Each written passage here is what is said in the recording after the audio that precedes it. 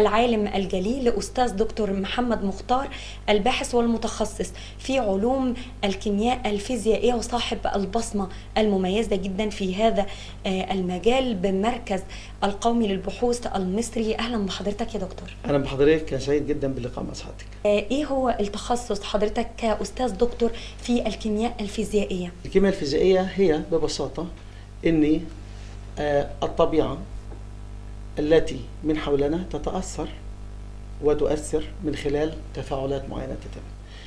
آه، بتاع الكيمياء الفيزيائية تحديدا بيعمل تكميم لهذه الظاهرة. يعني إيه تكميم لهذه الظاهرة؟ إذا كنت أنا بقول إن درجة الحرارة بترتفع بترتفع قد إيه؟ إذا كنا بنتكلم آه، في ضغط فالضغط ده قد إيه؟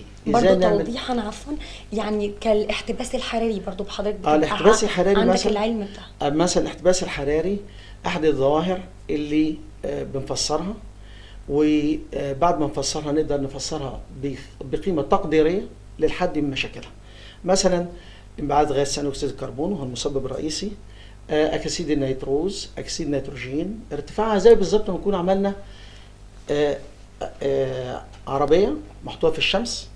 الإزاز بتاعها بيدخل الشمس وبيخرجش الحرارة مره دي الظاهرة ديت ظاهريا للجميع لقيناها كده. لكن إن إحنا نحسبها نعمل لها معادلات ونجد لها حلول هو ده الكيمياء الفيزيائية. ففي آه علم قائم بذاته اسمه علم الحفز البيئي. تمام. الحفز البيئي هو إنتاج مواد وظيفتها مواد آه، مساعدة مواد حفازه مواد مسرعة. الهدف منها هو الحفاظ على البيئة من خلال إما تحويل هذه الغازات إلى غازات نافعة غير ضاره أو الاستفادة من هذه الغازات في إجراء عمليات في الصناعة. مثلا لو أنا في الصناعة يخرج غاز من هذه الغازات فبدل من أن أتخلص منه أو أحوله لنيتروجين أستفيد منه هو مباشرة في اكسده بعض المواد الأخرى وتصنيع مواد جديدة. أستاذ دكتور محمد مختار كنا عايزين نعرف مع من حضرتك النهارده آه، عن ال 14 آه، براءة اختراع اللي آه، قريناهم وعرفناهم من وسائل الإعلام. نعم إحنا بنعمل في جامعة الملك عبد العزيز أسسنا المعامل في البداية خالص أخذنا فترة 2004 إلى 2009 تقريبا تأسيس معامل وتجهيز تجهيزات و و عمل مفاعلات إلى آخره للتقنيات المطلوبة كلها. آه، وكنت مستشارا في ذلك الوقت لمدينة الملك عبد العزيز في الرياض وهي المدينة الأساسية في البحوث ولا تمولها ومن خلال فريق عمل متكامل بيشمل الفريق السعودي الدكتور آه، عبد العزيز بقبس والمجموعة البحثية لدى مدينة الملك عبد العزيز. قدرنا إن إحنا نبدأ أول خطواتنا في عمل ابتكارات جيدة جدا في مجال الحفازات التي تستخدم في تصنيع بعض المواد التي لها أهمية صناعية. آه، سجلنا بذلك آه، مجموعة من براءات الاختراع في مكتب براءات الاختراع الأمريكي. وللحماية تم حمايتها في أكثر من دولة منها دولة الصين منها دولة اليابان. ومنها بعض البراءات الحديثة حتى من هذا العمل طلع في المملكة العربية السعودية. بالإضافة إلى فريق العمل بجامعة الملك عبد العزيز وعلى راسهم الاستاذ الدكتور سليمان ناصر بسهل رئيس المجموعه البحثية وأص- والزملاء في العمل. اللي إحنا عملنا مع بعض كتيم وورك كفريق عمل متكامل. وبالشراكة الدولية مع آه، جامعة UCL بنسميها University College London اللي هي جامعة كلية لندن وال Imperial College London اللي هي جامعة لندن الملكية. آه، من خلال ال باينانو consulting office قدرنا إن إحنا فعلا نسجل ست براءات اختراع مرة تانية. مش كلهم أنا موجود فيهم لكن كفريق عمل تقريبا أنا موجود في احدى هذه البراءات. فالحقيقة البراءات الاختراع أحد المنجزات الرئيسية والهامة جدا في طريق البحث التطبيقي. لأن البراءة معناها إنك أنت بتحمي فكرة معينة من الممكن الاستفاده منها استفادة كبيرة واستفاد منها على المستوى الصناعي. آه، السؤال بيطرح نفسه ده بيسألوه لي. هل في فرصة ناخد نوبل؟ الإجابة من الممكن ذلك إذا توفرت نفس الظروف ونفس الإمكانيات ونفس المناخ العلمي الذي يجهز علم هذا الكلام. بدليل هأدي مثال آخر في جائزة اتكلمت عنها يمكن في الأول خالص اسمها جائزة إني وجائزة إني دي آه، بتمنح في الطاقة جائزة تماما توازي جائزة نوبل لأن جائزة نوبل إما في الكيمياء أو في الفيزياء أو في الطب. بينما جائزه إني في الطاقة وتعطي ثلاث جوائز تصل تقريبا التقدير المادي بتاعها كبير جدا يعني يمكن ربع جائزة نوبل في المادة ولكن في القيمة هي جائزة هامه جدا. هذه الجائزة أنا رشحت لي أربع مرات. تمام. تم ترشيح لي أربع مرات وكل سنة بتبعت لي. آه وممكن أحيانا الواحد يمل في كل مرة بتكتب بروبوزل وبتقدمه مقترح بحثي وتقدمه.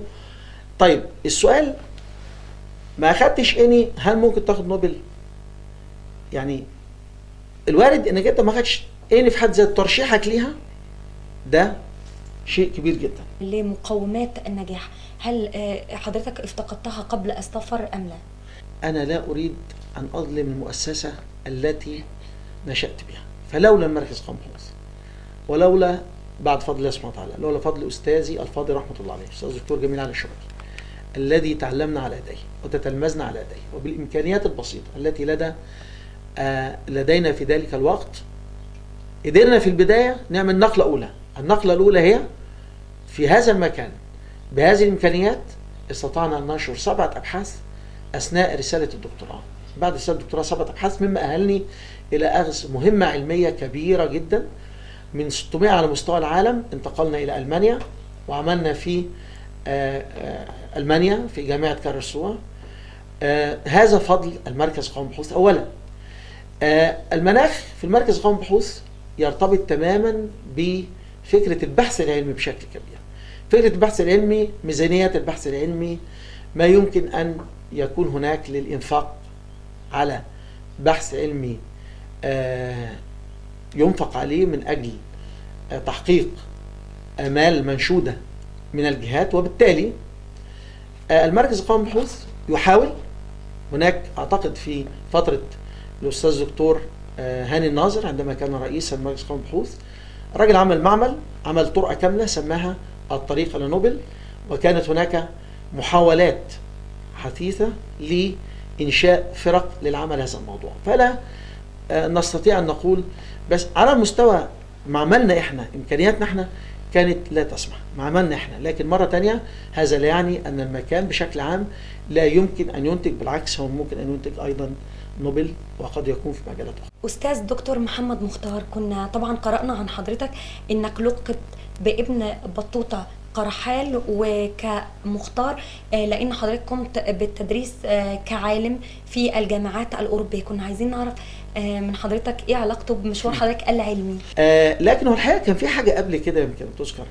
هم أصدقائي وزملائي متشكرين والمفضلين عليا كانوا دايما يقولوا يا مخ يا مخ دي ليها علاقة بالشطاره بصراحة يعني إحنا كنا شطار. وكانوا بيساعدوني في كنت بقدر أساعد زمايلي أثناء وأنا طالب حتى كنا وأتمنى ان يكون في منهم اللي بيتابع الحلقة من زملاء الدراسة يعني.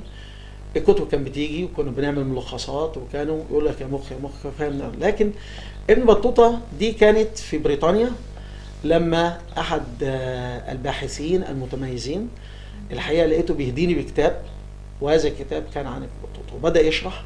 طبعا أنت رجل كثير الترحال. آه، أقول لك على رحلة غريبة جدا حصلت لي. كان عندي اجتماع في جامعة اوترخت تبع المشروع البحثي بتاعنا. وكان مباشرة بع- بعدها في عندي مؤتمر في آه، أمريكا تبع الجمعية الأمريكية للكيمياء وكان لازم أحضر الاثنين. خلصت الاجتماع رجعت على السعودية قعدت 12 ساعة وسافرت تاني بالطيارة تقريبا 15 ساعة.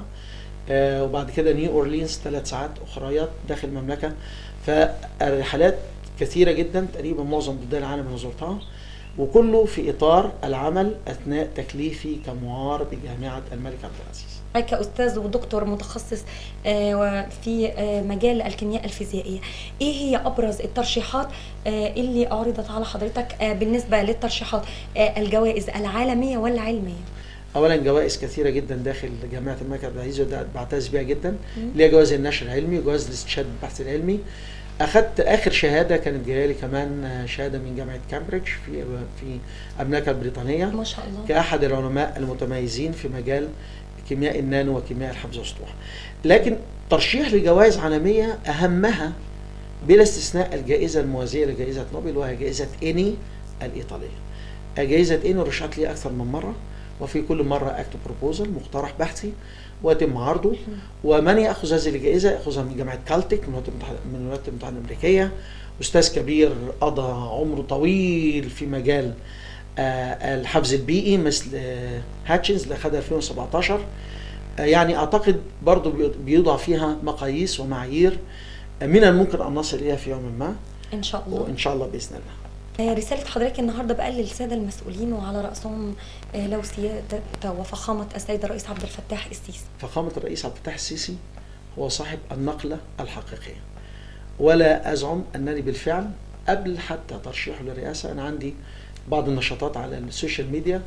فأنا عامل صاحب صفحة The President ودي صفحة تم عملها قبل حتى ما سيادته يفكر أصلا في الترشح هذا الكلام فقط آه ليس مجاملة ولكن هو واقع. يفرض نفسه على أرض الواقع.